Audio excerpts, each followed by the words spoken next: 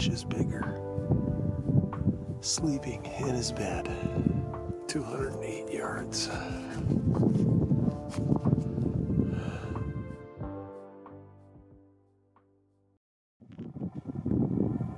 Not often that you see moose on the prairies.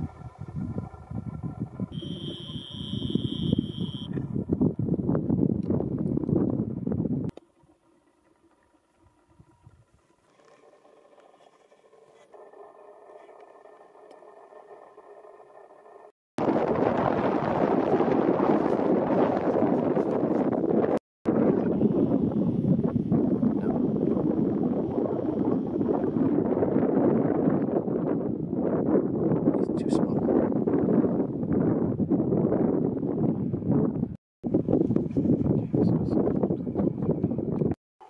He's got a huge drop tine. He's a wide 3x3 with a drop. Oh, oh, oh, oh, oh. There's another buck. Get your camera. Mm-hmm.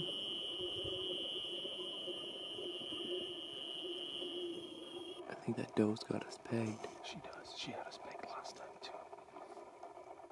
That's him, and that's a different one.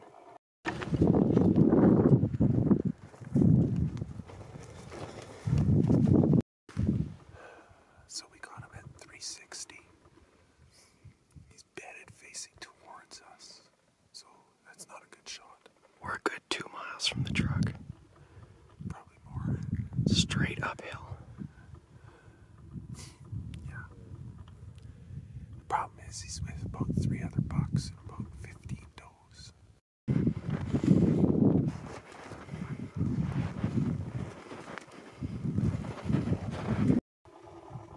Neither of those are drop tine. They're not. That doe is obviously in heat. And gone.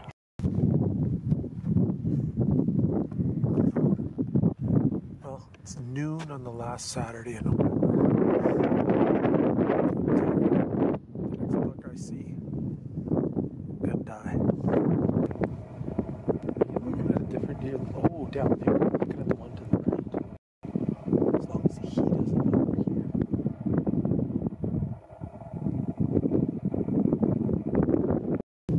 There's the deer bedded right here. I think it's the buck's gotta be with her.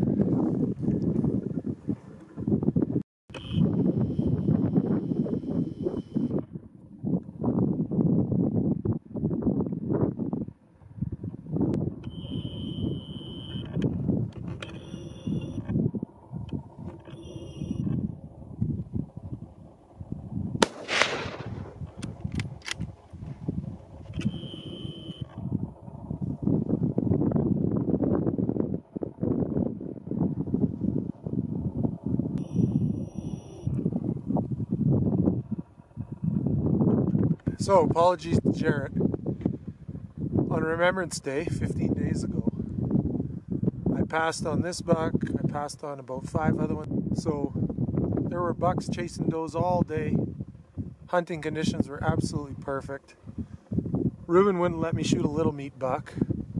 So, he spotted this one, it dropped into a little draw, we worked in on it, popped over the top of the hill, 75 yards, there was the doe she stood up, the buck stood up, and I just put one right behind the front shoulder, and down down he went. The best part is, as the crow flies, we're about a half a mile from the truck.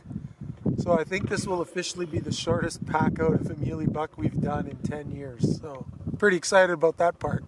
I may have flinched on the video a little bit. We'll have to we'll have to see. Well, let's start gutting this thing.